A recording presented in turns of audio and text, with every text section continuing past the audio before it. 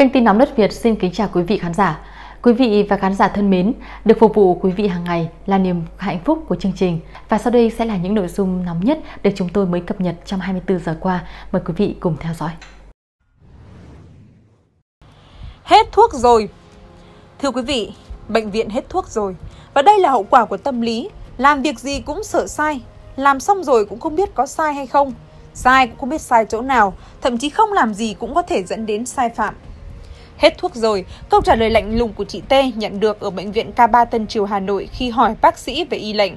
Thuốc Besdosel 80mg trên 4ml, mọi lần đều do bảo hiểm chi trả. Nhưng giờ đây thì hết thuốc rồi và muốn có thuốc thì ra ngoài mà mua. Ra ngoài là đâu?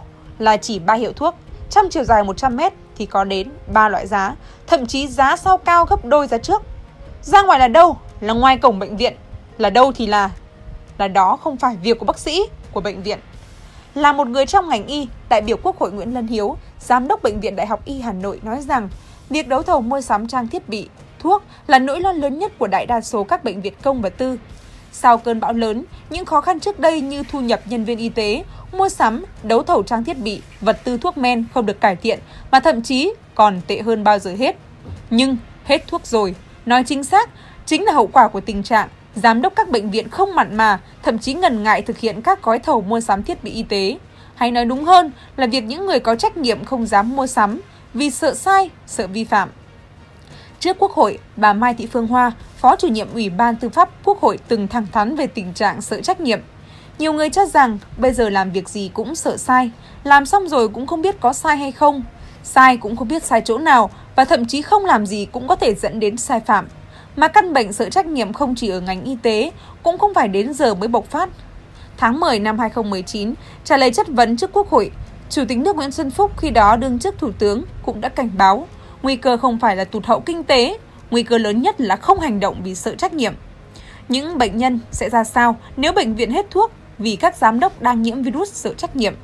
Cần phải có thuốc cho tình trạng hết thuốc rồi, cho virus sợ trách nhiệm. Thuốc ấy là một cơ chế để bảo vệ những người dám nghĩ dám làm, và thuốc ấy cũng phải là sự kiên quyết. Ai không làm thì đứng sang một bên, thì đừng ngồi cái ghế ấy nữa. Chứ những người hoặc khánh kiệt bị bệnh tật, hoặc thập tử nhất sinh, họ có lỗi gì để phải nhận gòn lọn ba chữ hết thuốc rồi, quá phũ phàng kia. Tăng cường thanh kiểm tra hành vi lạm dụng trục lợi quỹ bảo hiểm y tế. Thưa quý vị, Bộ Y tế vừa có công văn gửi Ủy ban Nhân dân các tỉnh, thành phố về việc tăng cường truyền thông về chính sách, pháp luật, bảo hiểm y tế và kỷ niệm Ngày Bảo hiểm Y tế Việt Nam mùng 1 tháng 7 năm 2022.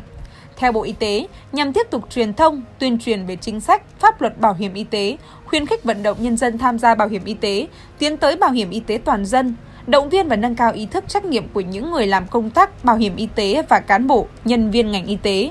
Bộ Y tế đề nghị Ủy ban Nhân dân các tỉnh, thành phố chỉ đạo Sở Y tế, Sở Thông tin và Truyền thông, Bảo hiểm xã hội và các sở ngành liên quan tăng cường thực hiện các hoạt động truyền thông, tuyên truyền về chính sách, pháp luật bảo hiểm y tế nhân ngày Bảo hiểm y tế Việt Nam mùng 1 tháng 7 năm 2022.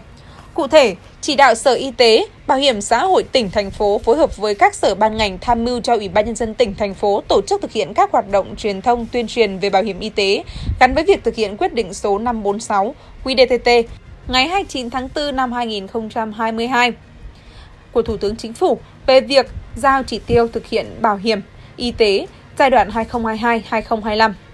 Giao Sở Y tế chỉ đạo các cơ sở khám bệnh chữa bệnh trên địa bàn tiếp tục thực hiện nghiêm các quy định của pháp luật về bảo hiểm y tế, khám bệnh chữa bệnh, tăng cường thanh tra kiểm tra phòng chống hành vi lạm dụng, trục lợi quỹ bảo hiểm y tế, nâng cao chất lượng khám bệnh chữa bệnh, đáp ứng sự hài lòng của người bệnh, sử dụng tiết kiệm hiệu quả quỹ bảo hiểm y tế.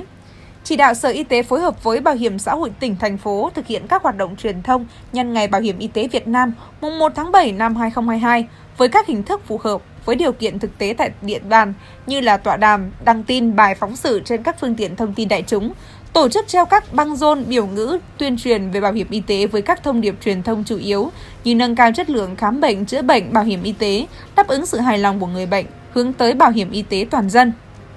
Tham gia bảo hiểm y tế để chăm lo sức khỏe bản thân, gia đình và cộng đồng. Tham gia bảo hiểm y tế là trách nhiệm và quyền lợi của mỗi người, mỗi gia đình, mỗi tổ chức và cả cộng đồng.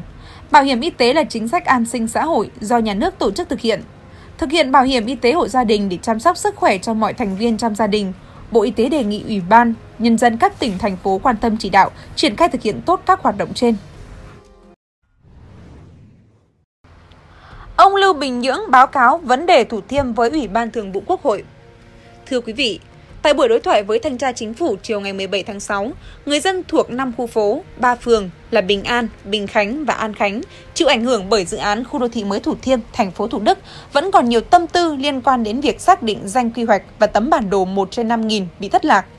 Khi nguyện vọng của người dân và những giải đáp của cơ quan chức năng vẫn chưa tìm được điểm chung, ông Lưu Bình Nhưỡng, Phó trưởng ban dân nguyện của Quốc hội nhận định, những khiếu nại, khiếu kiện về khu đô thị mới Thủ Thiêm chưa thể được giải quyết trong một buổi. Phó trưởng ban dân nguyện của Quốc hội chia sẻ, vấn đề của khu đô thị mới Thủ Thiêm cũng là tâm tư của nhiều cán bộ, công chức nhà nước, đại biểu Quốc hội. Ông bày tỏ sự cảm thông chia sẻ với những người dân cũng như các cấp lãnh đạo của thành phố Hồ Chí Minh. Đây là vấn đề đã trải qua 5 nhiệm kỳ. Nếu các nhiệm kỳ đầu các vị lãnh đạo xử lý xong thì ban lãnh đạo thành phố Hồ Chí Minh hiện tại sẽ không gặp nhiều khó khăn. Trong số các ý kiến của người dân chịu ảnh hưởng bởi khu đô thị mới Thủ Thiêm, đại biểu Lưu Bình Nhưỡng bày tỏ sự tâm đắc trước việc người dân sẵn sàng ủng hộ cho sự phát triển của khu đô thị mới của thành phố Hồ Chí Minh. Người dân mong muốn vấn đề được giải quyết dựa trên hài hòa với lợi ích của người dân, nhà nước, doanh nghiệp. Ông Lưu Bình Nhưỡng cho rằng ý kiến này là đòi hỏi rất chính đáng và sự cầu thị. Bà con Thủ Thiêm mong muốn được giải quyết sự việc đảm bảo công bằng, tính pháp lý và khách quan dân chủ. Phó ban dân nguyện của Quốc hội khẳng định, chúng tôi đã ghi nhận đầy đủ ý kiến bà con cùng các bộ ngành tại buổi đối thoại hôm nay. Ban dân nguyện sẽ xây dựng báo cáo, gửi Ủy ban Thường vụ Quốc hội để đề nghị xem xét quyết định. Trong đó chúng tôi sẽ đưa ra các đề xuất căn cứ trên ý kiến các bộ ngành liên quan, các văn bản thông báo kết luận thanh tra. Ông Lưu Bình Nhưỡng cũng nhấn mạnh, Ban dân nguyện sẽ theo dõi, giám sát vụ việc này cho đến khi được giải quyết triệt để. Cơ quan này cũng chịu trách nhiệm tham mưu cho cơ quan có thẩm quyền để thực hiện giám sát việc xử lý các vấn đề của khu đô thị mới Thủ Thiêm. Mặt khác, đại diện ban dân nguyện cũng đồng tình với ý kiến. Đối với những vấn đề được người dân chứng minh rõ, cơ quan nhà nước phải có trách nhiệm giải quyết xử lý. Những dấu hiệu sai phạm, vi phạm pháp luật nếu có sẽ được chuyển đến cơ quan điều tra. Tại sao bây giờ người ta không tham gia đấu thầu? Vướng ở đâu về thể chế? Vướng ở đâu về quá trình tổ chức thực thi? Vướng ở các nguyên nhân khách quan, chủ quan nào? Từ đó, nếu quy định vướng ở các luật thuộc thẩm quyền của Quốc hội thì phải trình Quốc hội để ra nghị quyết giải quyết. Vướng ở chính phủ thì chúng ta phải trình chính phủ để giải quyết. Vướng ở liên tịch giữa Bộ Y tế, Bộ Tài chính, Bộ Kế hoạch và Đầu tư thì chúng ta phải cùng các bộ đó giải quyết. Vướng ở các văn bản luật thuộc thẩm quyền của Bộ Y tế thì Bộ đứng ra giải quyết. Có như vậy, chúng ta mới từng bước tháo gỡ được các khó khăn, vướng mắc để công tác đấu thầu từng bước lập lại trật tự bình đẳng, đáp ứng nhu cầu khám chữa bệnh ngày càng tăng của người dân. Cùng với vấn đề liên doanh liên kết, xã hội hóa, mượn máy, đấu thầu trang thiết bị y tế, thuốc, vật tư tiêu hào là vấn đề lớn mà ngành y đang lúng túng và người làm rất dễ thành vi phạm. Nhiều cơ sở y tế không biết đâu là hành lang pháp lý đầy đủ để an toàn, yên tâm thực hiện, đâu là làn danh đỏ để người ta không thể vượt qua. Do đó, cần phải có văn bản hướng dẫn như nghị định chính phủ cụ thể hóa luật quản lý tài sản công, luật đầu tư công, luật đấu thầu, luật dược, đồng thời cần có quy định riêng cho ngành y tế, vì đây là ngành kinh doanh có điều kiện ảnh hưởng trực tiếp đến sức khỏe người dân. Điều này sẽ giúp ngành y tế có cơ chế pháp lý công khai, minh bạch, đồng thời cũng tạo ra thể chế để quản lý cũng như bảo vệ các đơn vị tham gia đấu thầu.